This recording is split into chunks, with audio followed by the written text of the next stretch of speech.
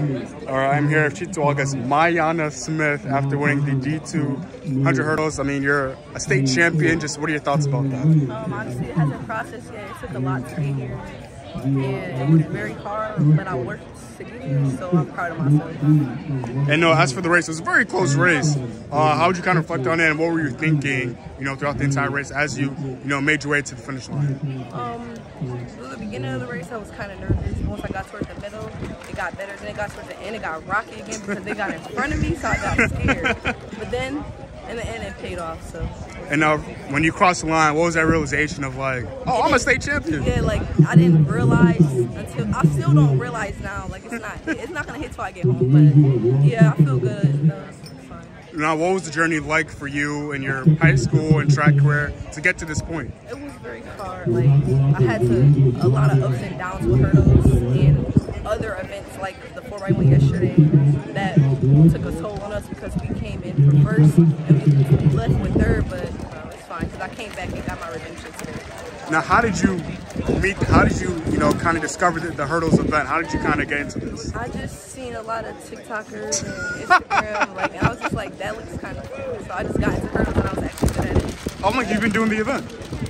Two seasons. Last year. Two seasons. Last year outdoor. No, three. This year outdoor. Last year outdoor and indoor. So for you, I mean, you're kind of new to the event, and then you won the state championship. What? How? How? I guess how do you feel about that, knowing that you learned it so quickly and you could be one of the best in the state?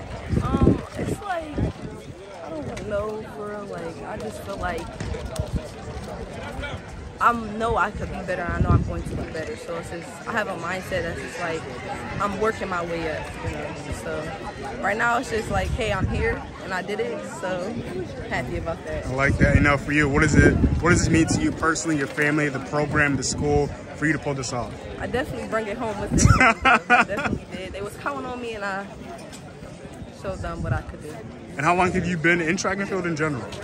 Only this is my sophomore year. Only I started freshman year. Oh no, but when did you start, like in general, playing, uh, you know, doing the sport? Doing the sport? Yeah. Last year, November. Oh wow, so you've literally only done track and field for two years.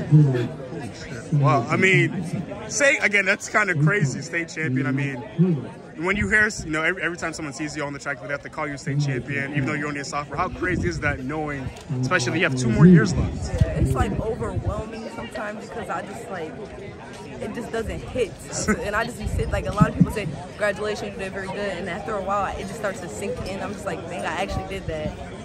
Like that.